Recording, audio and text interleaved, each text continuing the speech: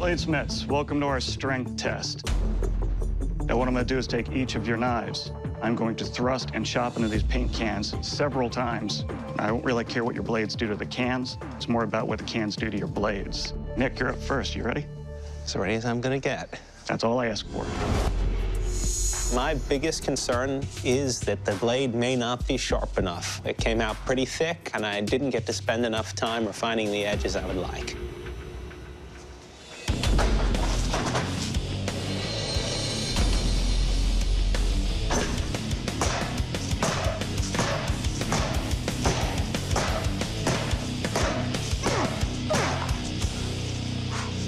I'm so glad I wore my brown pants.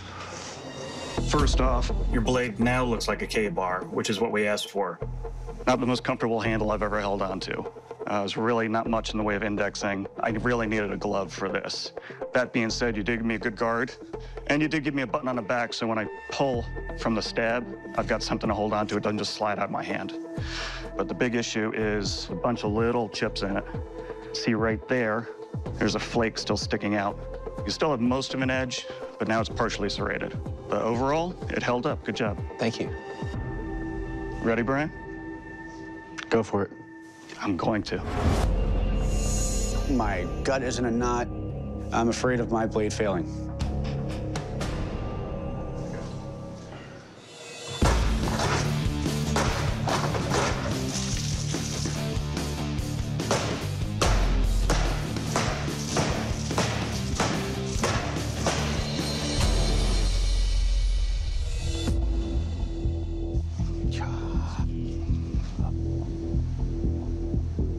Right, Brian, we obviously have an issue. Welding on that back bar, trying to reinforce it was a good idea. I think a little heat added a little more stress to it.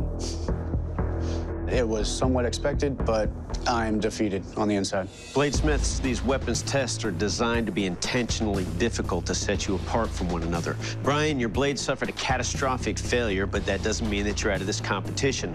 One of our bladesmiths still has to perform this test. So your fate and his fate ride entirely on the strength of Alex's blade. If my blade breaks, I don't know what happens. I've got a couple big cracks, so I'm, I'm pretty concerned.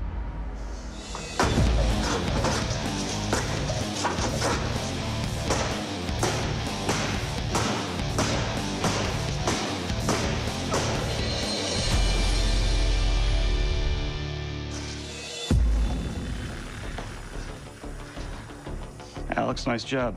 Your edge held up very well. There's minor chipping, but overall, you've got most of your edge on there. Good job. Thank you. Alex, your blade held up. Brian, that means that your blade did not make the cut. You suffered a catastrophic weapons failure in our strength test, and for that reason, I have to ask you to please leave the forge. Good job. Good job. I'm going home today because it was honestly my welding of my cubes in the beginning that led to all my problems. But going forward, I've learned a lot. And I picked up a bromance. I got a bro down in Florida now, so that's awesome.